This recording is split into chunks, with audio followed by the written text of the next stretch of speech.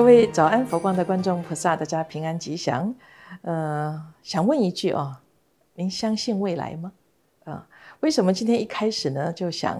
呃呃问这句话哈？啊，就是我最近这几天呢看到呢，啊，因为毕竟我们的道场就渥太华这个道场呢，还是比较呃远离啊这个市区啊，比较偏郊区一点哦，所以可以很明显的就看到。啊，这个呃，马路两旁啊，有一些呃田埂啊，就就是有些种植的这些啊地方，我我是不知道它是种玉米还是种蔬菜水果啊。大家看到呃，这农夫已经在呃，就是整地啊，已经在呃，好像翻土啊，可能有些已经下种了，只是我们不懂得看哦。啊，就感觉到他们是相信未来的哦。我看到这些景象，我想他们心中有未来，一定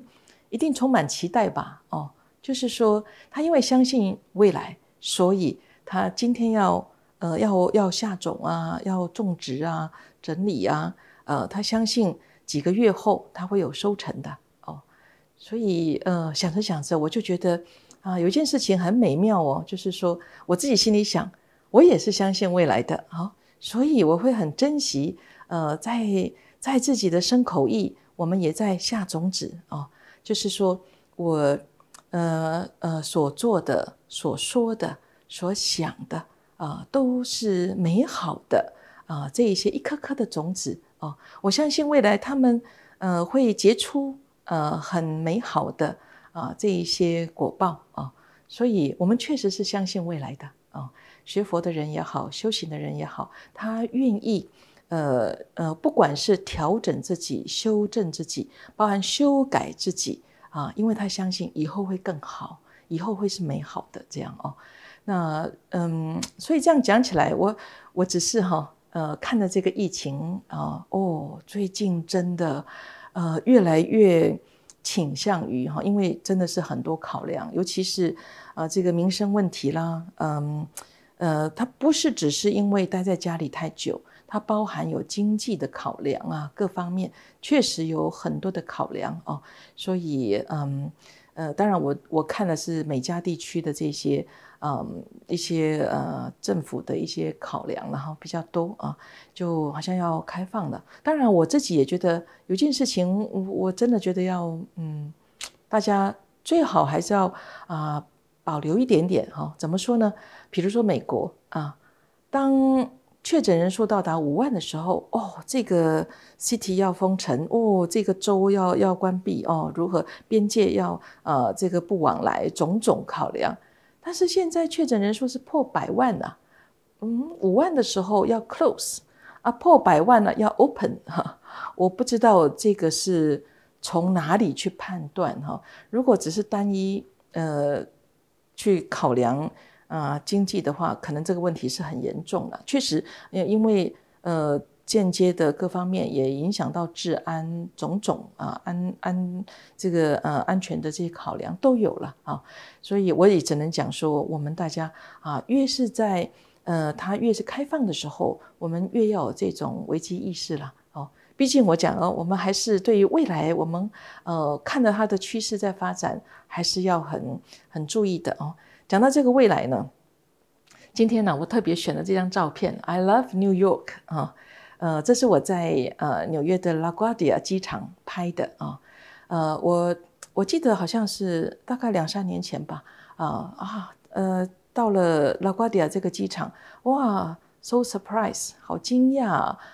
，LaGuardia 机场什么时候变这么漂亮啊？当然，比起一般的。嗯，国际机场它不是最漂亮的，但是比起之前的，哎，她变漂亮了哦。啊！我在车上呢，就跟义工师姐啊啊就讲，哎呀，我不知道什么时候拉瓜迪亚机场变这么漂亮。他说，因为啊，这个市长呢，呃，他呃，我忘记是市长还是州长，应该是市长了哈。啊，他说他去了啊亚洲几个啊地区。啊，看到他们的机场哈，我想大概不出啊，香港啊、新加坡，包含上海啊，哪里哦？呃，可能他看过，他说哦，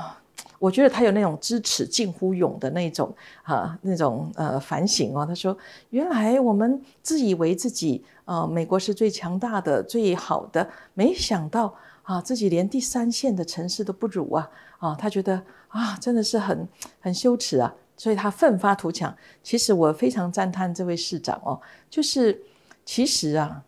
拉瓜迪亚那个机场，室内机场，它外围啊，我们在纽约居住的人都知道，啊，那种那种交通繁忙啊，然后建筑物啊，可简直。